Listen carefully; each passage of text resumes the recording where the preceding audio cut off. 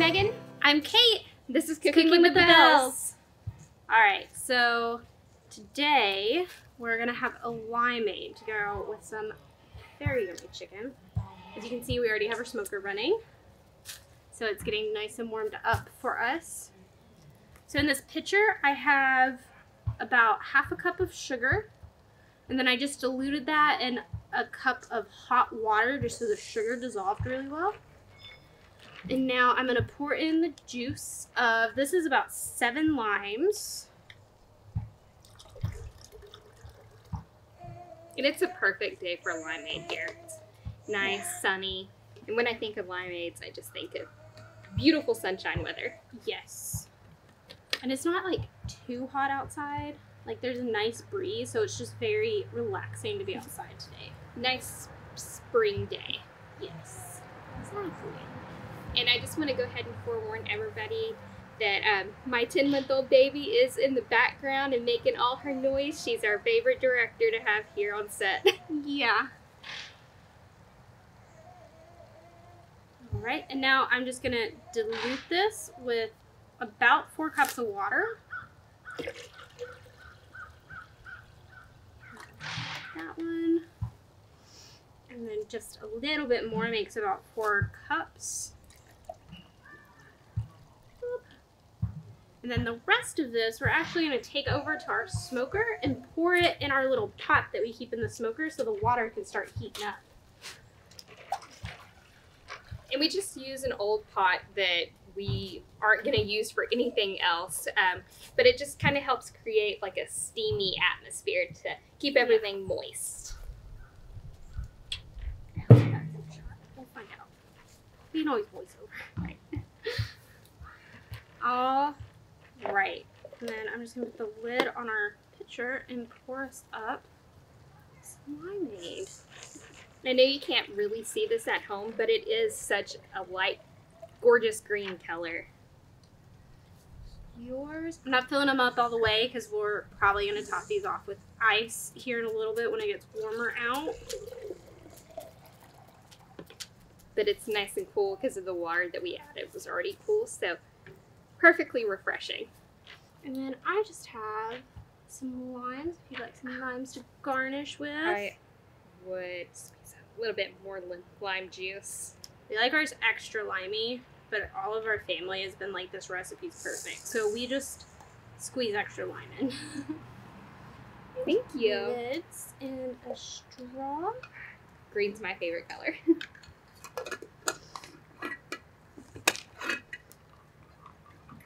And we'd also love to hear from you. Is there a favorite flavor of limeade that you'd like us to try, whether it be cherry or something crazy like mango limeade? Let us know. Peach, maybe? Ooh, peach limeade does sound delicious. Who knows? Let us know. Perfect. So good. I like my I like it with that extra squeeze of lime adds just enough that it kind of hits you in the back of your mouth a little bit so it's not like overly sweet. And I love that we start off the show with a drink because that means I can have a nice drink all the way through while we're making our recipe. Yes. Perfect. So make sure to make a drink before you start the recipe of some sort. All right. So today we're doing a spatchcock chicken on the smoker. I know that sounds super intimidating, but I promise you it's not. So we're gonna start.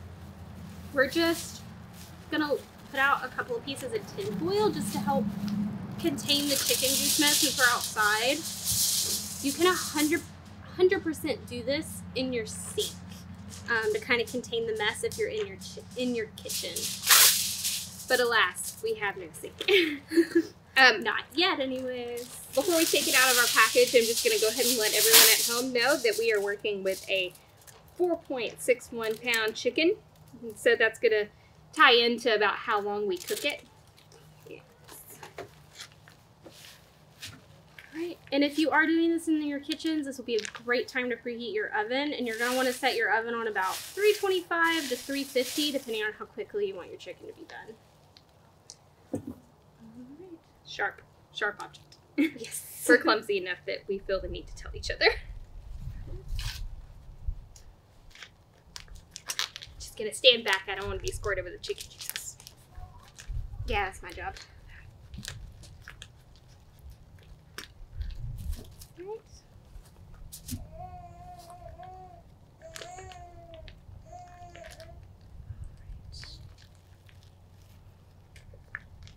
And I'm just trying to, like I said, be careful just to kind of contain the chicken contaminants. Which, if we get them kind of everywhere, it's okay. We have a very wipeable tablecloth, which I 10 out of 10 recommend. Yes, if you're doing any kind of like outdoor cooking or picnic or anything like that, I definitely recommend having a wipeable tablecloth instead of one that you're just going to chunk in the, the washer just because you can clean it up so easy. Alright, so I'm just going to come over here and go, nope. I'm going to take this away. Alright, so we have our chicken down. You can see we have our drumsticks. We have our breast right here. And so I'm just pulling out our giblets and gizzards and all the things. It's actually the neck and the gizzards, but you know. My mom would hate me for getting rid of these because she loves to fry them. Alright, that's all of it. Now you can save these. These make an excellent stock really good fried up. Um, we're just not doing that today. And chicken contaminates easily, so it's one of those things that we get kind of nervous about just like setting aside. Right. All right. And then I'm just gonna pull out. You always have these extra pieces of skin. I like to leave them on until right before I put it on the cooker, and then I trim them. And you'll see why here in a moment. So now I'm gonna flip him over backwards. And there's, excuse you. Thanks. there's, you have the, the backbone here with all the ribs. So we're just literally cut on each side of that. You're kind of cut through the ribs. It did say it was a nice spring day out. We also have the nice spring wind. So I've never actually made this before, so Katie's teaching me something new as well. At just showing how not intimidating it can be. And I mean, kind of a shameless plug because I would love for you to stay here and learn. But if you need more in depth instruction, Cook's Country has a really good, they're the ones that I learned how to do this from. So if you need more instruction or deeper instruction, I would definitely check them out. Sponsor. Um, I'm just really. You want to cut all the way out, and then I'm just gonna cut out this other side.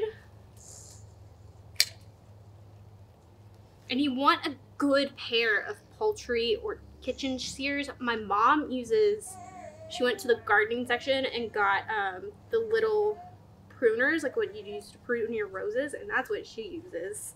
They're only for food, though that set never touches the garden. That's a really nifty fun fact. Um, but yeah, your plain scissors will probably hurt your hand a little bit.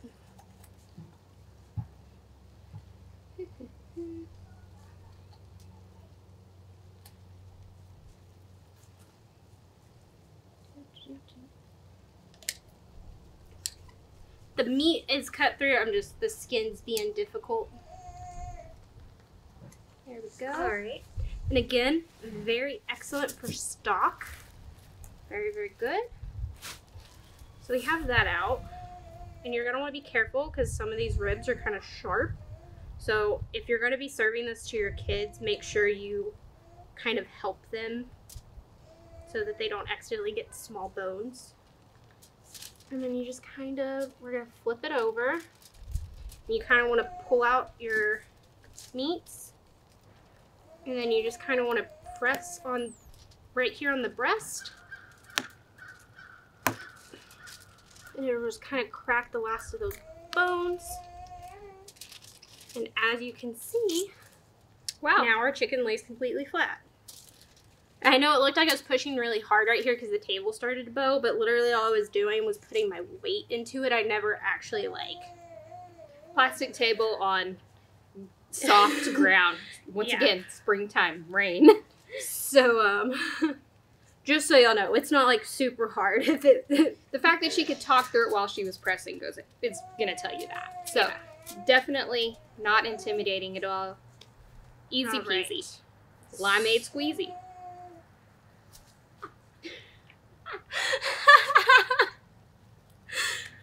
Anyways, I don't have dad jokes, I have mom jokes. they're the same thing.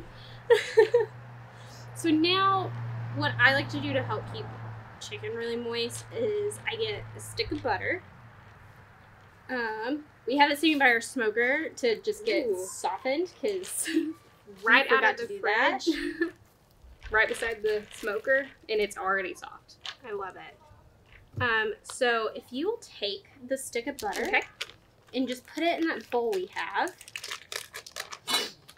And we're actually using plant butter yes, because I'm dairy free.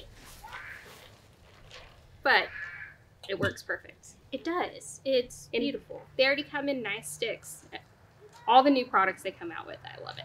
Okay. Yes. What can we do for you? All right, so let's in this let's Okay. put some of we're using herb de Provence. It's kind of like Italian seasoning with some dried lavender in it, but it's so good. I'm sure there are other ingredients in it. That's just what it reminds me of. And if you've watched any of our other episodes, you probably know we, we love lavender. Yes. All right. So about how much am I going to do here? I like to start with a tablespoon Okay. because you can gonna always add more. Pop the lid off here. We're just eyeballing it because, you know, your own personal preference. Okay. That's Yes. probably about a tablespoon. Cool. How much paprika? I usually start with about a teaspoon of paprika just because it can kind of be strong, and I just kind of want it to have like an under hint of that Mhm. heat. And then I do the same with black pepper.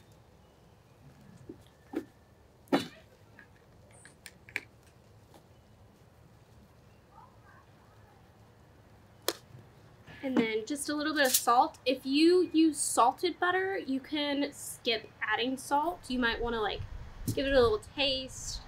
But ultimately, you know your preference, so you might still want to add the salt. I just personally, when I use the salted butter, usually tend to leave salt out. And while she's getting that all mixed up, what I'm gonna do is come in here and just start separating the skin from the breast. I'm actually gonna turn this so I have a slightly better angle. You just kind of work your fingers in there. You could really save a little bit of this butter that you add the seasonings and herbs to to have a nice flavored butter for like some rolls or bread to go with this. That's very true. And as you can see, like I'm going full in here and getting all over drumstick into the thigh.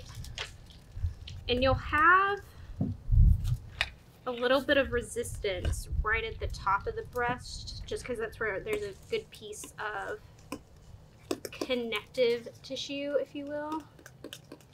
If you just kind of work in there, you'll get through. So this is now beautifully incorporated and ready to go. And I have all the skin loosened, so perfect timing. Now what are we gonna do with it?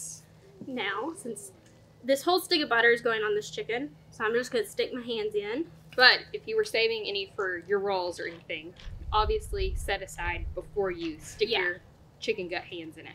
Pay attention to cross contamination because we don't accidentally want anyone getting sick. so I just kind of took a knob of butter in my hand and I'm just gonna stick my hand back in here. This is one time that I really love having someone help me cook because I can just get contaminated and then they can do all the other stuff for me. And as you can see, I kind of pulled the skin off of the thigh right here, and that's fine. It's just when we put on the smoker, we'll make sure he's tucked in nicely. And just kind of reform. Go back in. So you want to get as much butter in contact with the meat, and then the skin like kind of protects the meat. So and go in on the other side. And you can also like take half the butter, put it on this breast, and then have your hands on top of the skin like this and just kind of squish it this way. I know that works better for some people. It's whatever kind of works for you.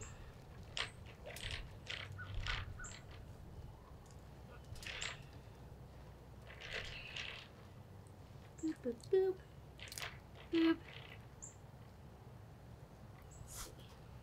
So I've used a little over two thirds of that stick, I would say, on the inside here. I'm mostly focusing on the, the breast because as we know, that's the most likely spot to dry out on us. Just like so.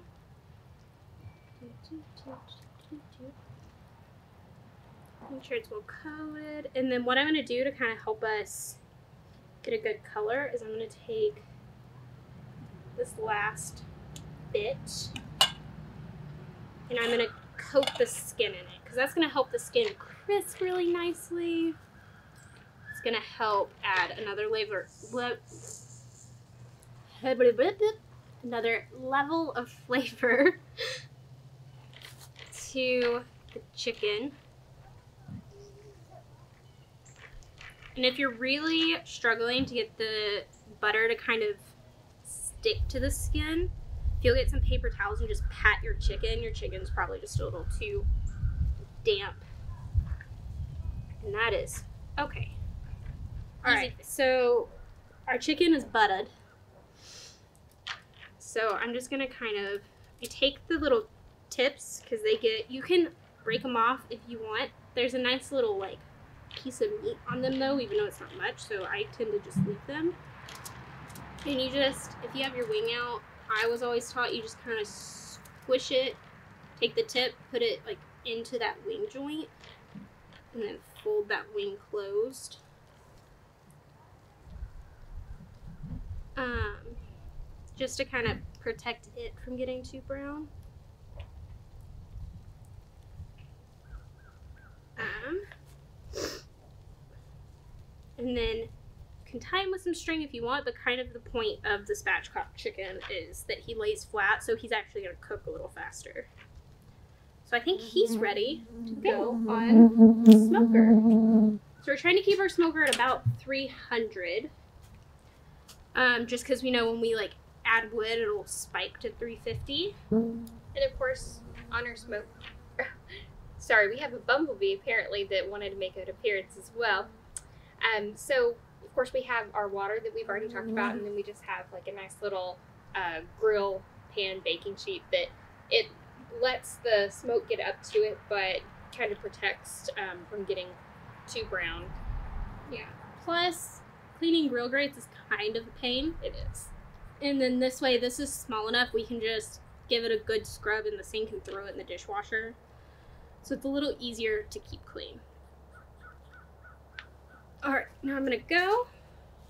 And we just do our cut side down, and then I'm putting the legs and the thighs towards the heat since they are the moisture part of the meat and keeping the breast kind of away from the heat a little bit. And then the last thing I'm to do now it's transferred is I have some orange slices and I'm just to pop those on the breast to help keep it moist.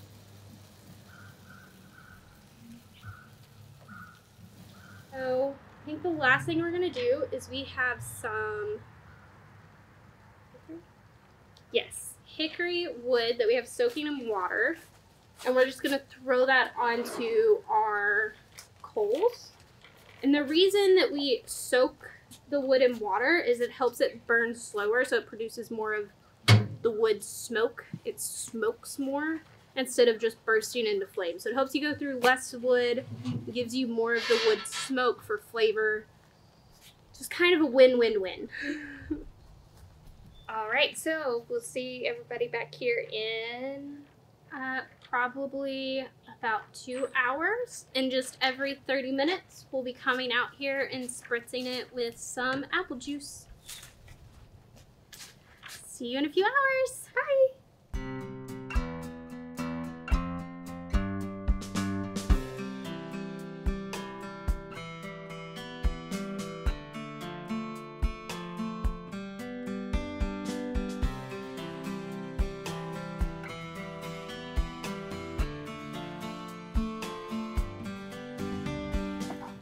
All right, and we are back. Our chicken, which was a little over four pounds, if I remember correctly, About 4.6. it took us about three hours today, um, due to the high winds that have inevitably come down for this Just believe bit. it. they were here. um, it kept our smoker at about 270 to 275 instead of our aimed for 325. Um, but you know, that's okay. Just beautiful chicken. I love the ends of the drumsticks and the wings because they get so crispy. So I'm gonna cut us a little piece to taste, and then we have to refrain until dinner time because this is dinner for the family tonight. So, So- so difficult. How do we feel about a piece of thigh? I would love a piece of thigh. Perfect. I always feel like the thighs are pretty flavorful. Oh, look at those juices. And always make sure that when you're cutting your chicken and you see the juices running out, you want to see clear juices, and that's another sign of being well done.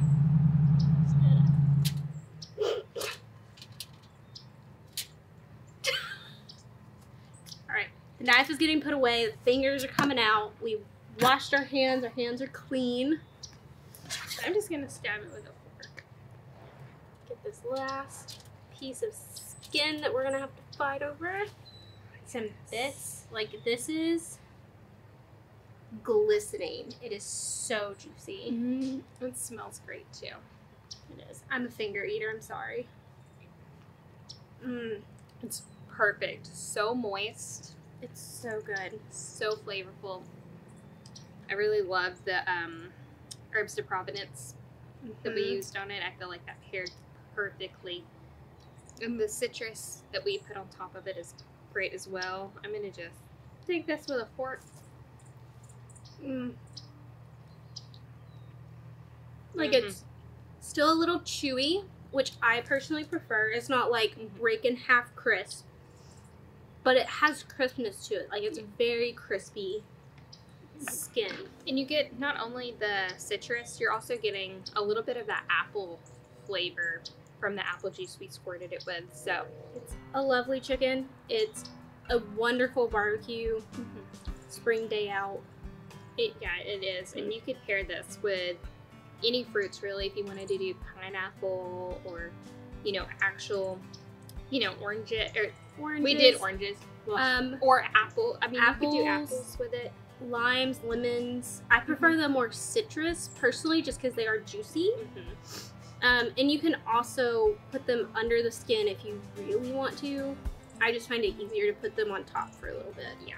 I think that's it today. Remember, if you enjoyed the video, you might have learned something, or if we just happened to entertain you, hit the like button down below. And also, if you enjoyed watching this and you want to see more, you can also hit that subscribe button and the link to our website that features the recipes for the chicken and the limeade will be linked below as well. So go visit us. And I guess we'll see you in two weeks. Bye. Bye.